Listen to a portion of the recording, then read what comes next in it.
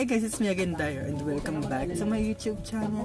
And for today's video guys is alam naman natin guys na ngayon is maambon, maulan and alam naman natin guys na kapag umuulan hindi, hindi tayo nakakagala, hindi tayo nakakalabas ng ating bahay, hindi tayo makapunta kung saan natin gustong pumunta at hindi tayo makakain ng mga gusto nating kainin outside of our house. Syempre dahil dyan, nasa bahay na tayo, boring tayo.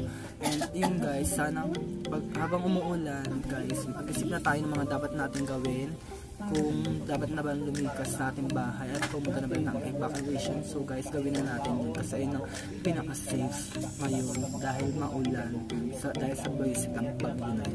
So yun guys, dahil nandito tayo sa loob ng bahay is may gagawin na akong isang pagkain na hindi ko alam kung anong pangalan ng pagkain na to dahil napanood ko lang din siya sa YouTube pero gagahin ko dahil wala akong magawa boring gusto kong tikman parang curious lang ako gusto siyang gawin kung nagagawa ko ba siya ng tama or hindi. Papakita ko na lang sa inyo guys di ba? So mamaya papakita ko na rin sa inyo kung ano yung procedure niya and kung ano yung mga ingredients na gagamitin ko. So guys ang magagastos nyo lang dito is only 40 pesos guys. 40 pesos lang is makakagawa na kayo ng pagkain natin. So without further ado let's get started kailangan nga pala nating ingredients is itong sugar 3 eggs and dalawang perasong parang Milo ata to. So ito guys, parang Milo, kung wala kayong ganito, Milo na lang din bilhin nyo guys. So parang Milo rin nam naman din siya. Bagong product lang siya nabili namin sa palengke kanina. So yun guys, ayun lang yung tatlong ingredients na kaya kailanganin dito sa pagkain na to.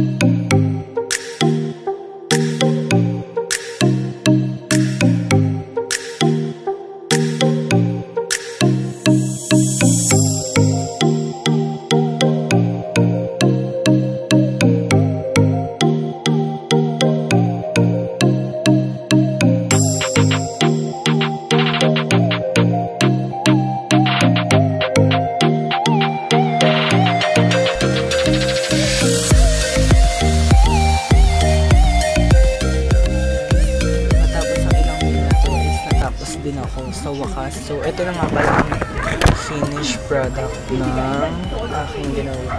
So, yan guys. Mukha siyang cake at ang sarap-sarap sa mata. Hindi ko ba alam kung ano yung lasa na pero parang sobrang taste na. Pero ang sarap guys. Tignan mo guys. Sarap. So, titikman ko muna. Serum capsules deepen your hair's hair in just one minute. Dove One Minute Serum Conditioner. Also available in foam and milk gel conditioner. New Dove One Minute. Mm. Sarap, sobrang tamis guys. Lasa siyang Paji bar na parang mamon. Ganun yung lasa niya guys. Mas lalong nagpatamis dito is itong Alaskang nilagay ko na kondensada na chocolate flavor. Ang sarap niya guys. Papa, papatigin ko siya kay mama. And ganito yung itsura niya pag hinate. Yan, ganyan. Sarap guys. Sulit na sulit yung 40 pesos niya dito. And nag-add pa pala ako ng dalawang Alaska. So, ang presyo ng dalawang Alaskang syrup na yun is 6 pesos isa. So, 40 plus 12 is 52 pesos lahat ng gastos ko dito guys. So, ayan. Ang sarap-sarap guys. Meron pa din isa. Actually, dalawa to na. So, ayan guys. Hanggang dito na lang tayo. And kung nagustuhan tong videos na to, don't forget to give this video a thumbs up and don't forget to subscribe my YouTube channel para always updated kayo sa aking mga bagong videos na gagawin tulad ng ganito. And bye-bye! See you in my next vlog!